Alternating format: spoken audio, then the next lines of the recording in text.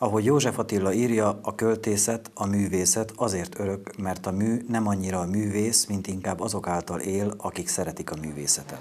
És azért szeretik, mert keresik az emberséget. Ennek a gondolatnak a jegyében egyedülálló programmal lepték meg a kultúra és a művészet kedvelő közönséget Lőrinciben. Könyvtárban volt ennek hagyománya régen igazából, hogy a költészet napjához kapcsolódó műsort szerveztünk, és most a kolléganőmmel, Juhász Nécakó Ilonával gondoltuk úgy, hogy, hogy kicsit formabontóak leszünk, és áthelyezzük a Városi Művelődési Házba. Ilike kolléganőm volt az, aki megtalálta a két fellépőt, a Magyar Versmondók Szövetségének az elnöke személyében. Mi is utólag szembesültünk egyébként vele, hogy ő valóban ki is, és a tárlat pedig mindig szokott lenni tavasszal és ősszel itt a művelődési házban. Ezt a hagyományt folytatjuk, és úgy gondoltuk, hogy most a költészetet és a festészetet összekapcsoljuk, és egy helyi amatőr festőt fogunk bemutatni. Igenis tudják meg a lőrinciek, hogy él közöttük egy ilyen ember, aki ilyen képek alkotására képes. Előttem, Isten tudja, honnan jöttem,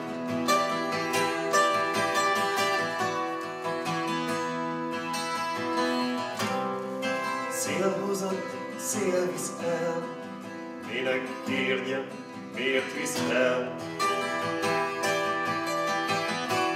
A Kulturális Intézmény és a könyvtár élén most egy olyan vezető áll, aki sokrétű, sokrétűen látja ezt, hogy milyen programok és milyen rendezvények azok, amelyek Őrinci város lakosságának igenis szüksége van rá, és megtalálja őket, és eljöjjönek, és ez a rendezvény is úgy illeszkedik, mint ahogy minden évben meg is szoktuk tartani.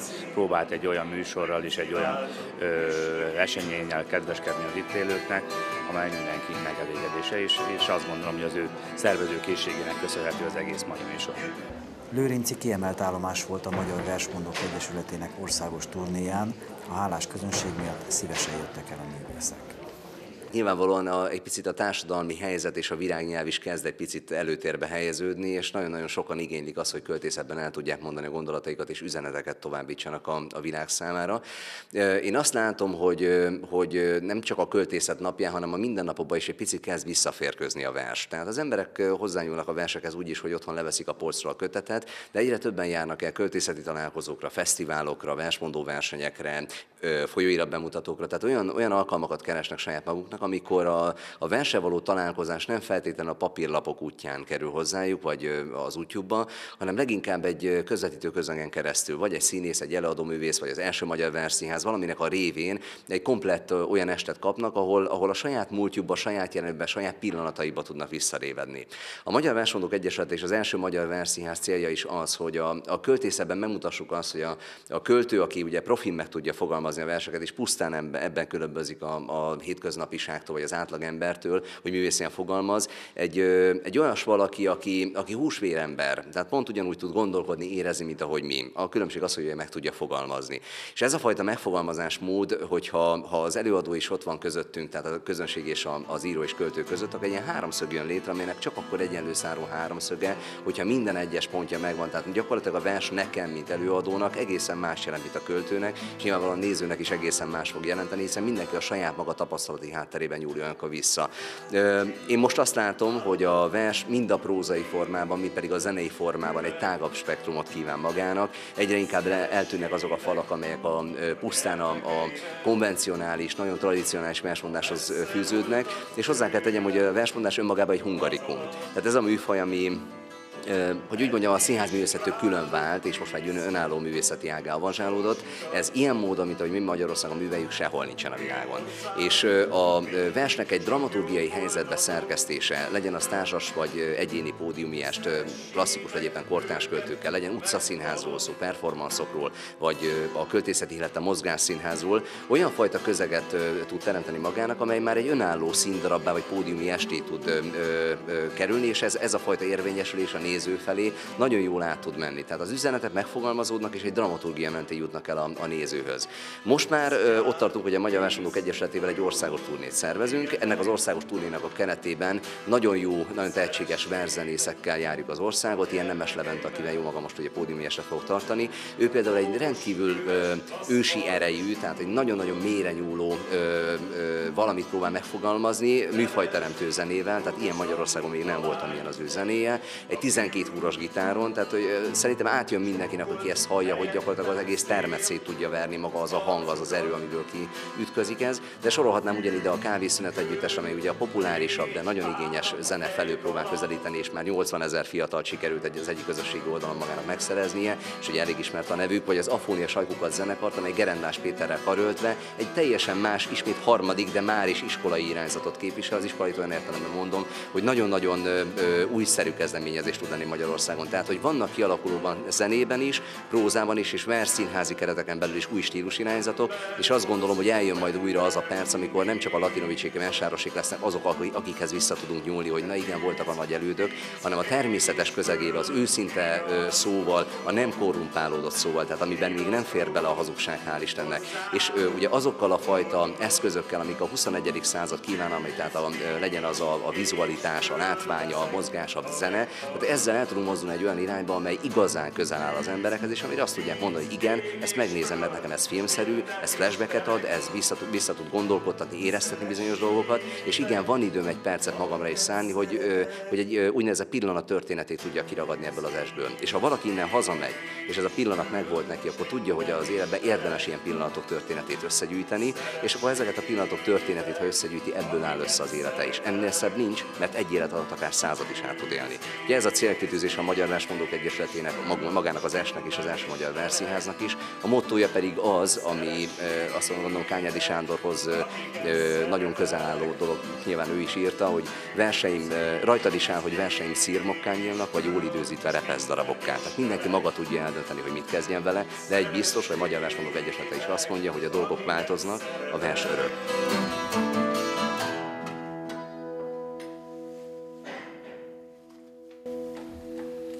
Fussunk! mondta a kisfiú, amikor a hídon mentek. Fussunk, mondta a kislány, amikor a hídon mentek. Szeretsz? kérdezte a fiú, amikor a hídon mentek. Szeretlek, mondta a lány, amikor a hídon mentek. Emlékszel? kérdezte a férj, amikor a hídon mentek. Emlékszem, mondta az asszony, amikor a hídon mentek. Fú, a szél! mondta az apu, amikor a hídon mentek. Mit mondsz? kérdezte az anyu, amikor a hídon mentek. Gyermekkoromban csillag voltam, széna illat az esti réteken. Ha a töltésnél elaludtam, vigyázott rám a lombos végtelen. Hétpetyes álmaim kigyúltak, ha a nyár új hegyére vett, és csápoló, csöpp ösztönökkel lentem a valóság felett. Egy nap megfogtam a semmit. Nem volt könnyű, hadakozott, de azért elkaptam. Beszaladtam a konyhába, gondoltam megmutatom anyunak és apunak. Anyu épp mosogatott, apu pedig ott ült az asztalnál és egy lapot olvasott. Oda szaladtam anyához, mutattam. Anya, anya, nézd, megfogtam a semmit. De anya nem nézett rám, csak mosogatott tovább. Oda mentem apához, mondtam, apa, apa, nézd, megfogtam a semmit. Apa kinézett az újságból, rám vigyorgott, és utána tovább olvasott. Én dühösen beszaladtam a szobámba. Megláttam a kis húgomat, épp ott játszott a földön.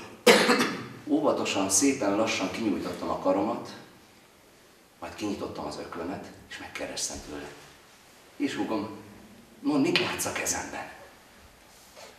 Semmit, mondta nevetve, és kiszaladt az ajtón. No lám, a felnőttek olyan okosnak képzelik magukat, pedig annyira buták, hogy még a semmit sem látják. Holnap megfogom a mindent. Vajon azt fogják látni?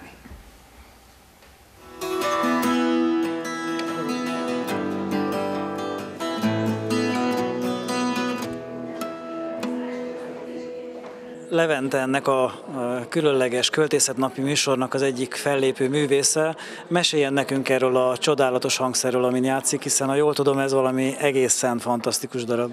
Igen, és hát a, a, hogy is mondjam, csak az öreg motorosok, az öreg gitárosok nem is nagyon szeretik ezt a típusú hangszert, mert ö, ö, hát technikailag és, és, és gyakorlatilag is egészen ö, furcsa, mint gitár, tehát ö, nem, egy, nem egy szabályosan megalkotott ö, hangszernek minősül. Egyesek szerint minden esetén nagyon szeretem.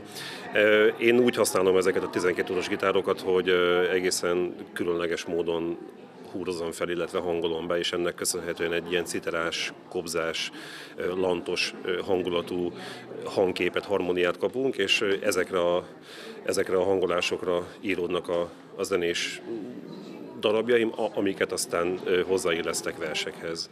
Tehát akkor ez sokkal több mindenre képes, mint egy hagyományos hangszer. Így van, tulajdonképpen lehetőségem nyílik arra, hogy úgy játszak rajta, mintha, mintha akár kettő gitár szólna egyszerre. A költészet és a képzőművészet kiegészítette és erősítette egymást a rendezvényen, ahol Kovács László amatőr festőműveit is láthatta a nagy közönség. Annyi féle képet látunk kint a falon, annyi mindenről mesélnek, hogyan születnek ezek a képek? Hát egy részét, ha megfigyeljük, az a természet adta szépségeknek a visszaadását próbáltam képre vinni az évszakok változásával, a téli, tavaszi, őszi képeket, tehát ezek realista képek. Ugyanakkor egy más gondolatvilágot is próbáltam megmutatni, amit mögöttem lévő képeken. Ezek teljesen egyedi és egyéni kitalálások, a szabad ezt mondanom, hogy kitalálások, és, és hát egy ilyen irányban is próbálkozom. Melyik irány az, ami a, az igazán a szívéhez közel áll? A modern, vagy pedig a kevésbé modern? Mind a kettő. Mind a kettő egyformán.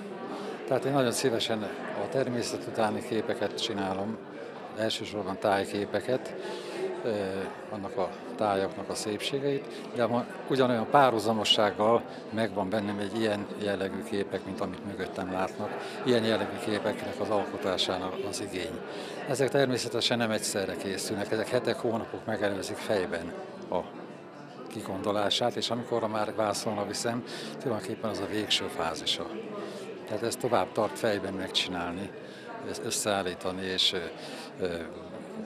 belegondolni, hogy mi legyen, mint mondjuk egy adott tájat, amelyiknek megvannak a maga konkrét helyei, azon is persze lehet egy kicsit változtatni, egy részét lehagyom, hozzáteszek, az egy saját egyéni kompozíció végig, az is, mert az itt látható tájaknak a túlnyomó zöme nem valós táj, hanem megfigyelések alapján rengeteget utaztam a országban, országon kívül, és az ilyen élmények alapján e, hozok össze adott esetben egy tájképet.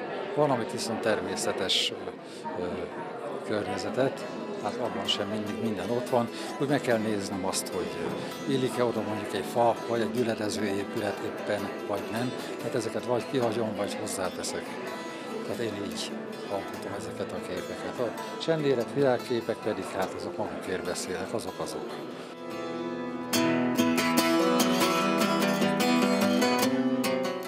Hogy rettenetes? Nem hiszem. De így igaz. Ha szeretsz, életed legyen öngyilkosság, vagy majdnem az. Mit bán még, hogy a modernek vagy a törvény mit követelnek? Bent, maga ura, aki rabolt odakint. És nem tudok élni, csak a magam törvénye szerint. Nem vagy egyén, míg magadé vagy. Még nem szeretsz. Még cserébe, a magadé lehetnél, teher is lehetsz. Alkul, ha szent is alkul. Nékem más kell már. Semmiért. Egészen. Két önzés titkos párbaja minden egyéb. Én többet kérek, az, hogy a sorsomnak alkatrésze. Mindenkitől. Beteg fáradt vagyok. Kívánnak így is meg lehet, de a hite rég elhagyott.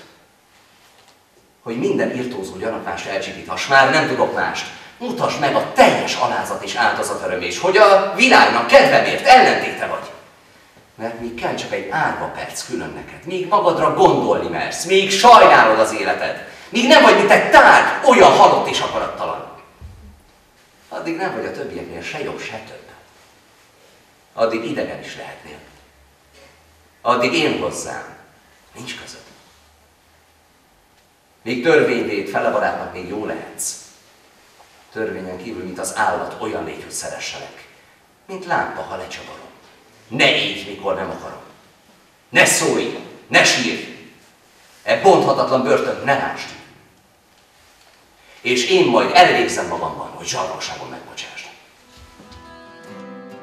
Köd köd mögöttem, Isten tudja, honnan jöttem.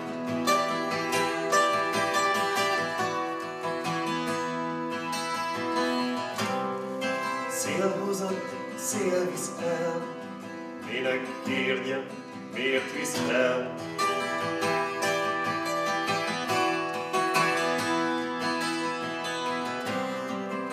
Sose néztem, merre jártam, a felhőknek kiabáltam.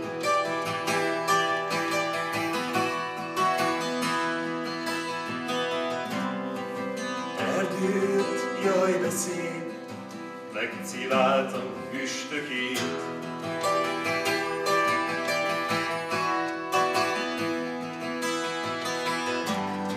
Jött az erdő, nekivágtam,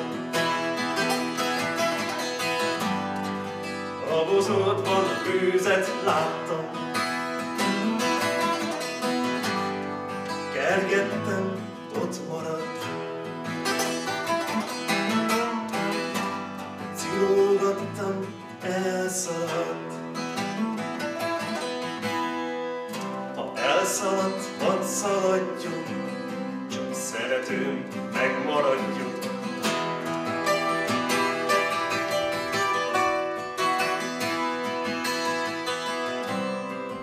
Szeretőm, a titok, ő se tudja, ki vagyok.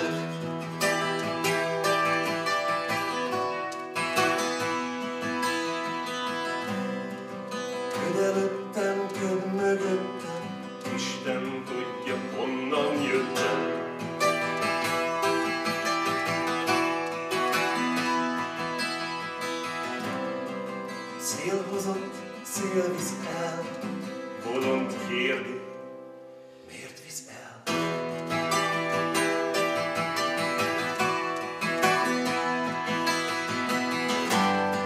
Jött az erdő, neki vágtam, a bozótban tűzet láttam.